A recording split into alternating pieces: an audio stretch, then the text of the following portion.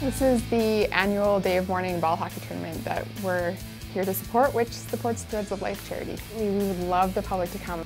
On April 30th of this year, from 8 a.m. to 4.30 p.m., we will be at the Sports Dome.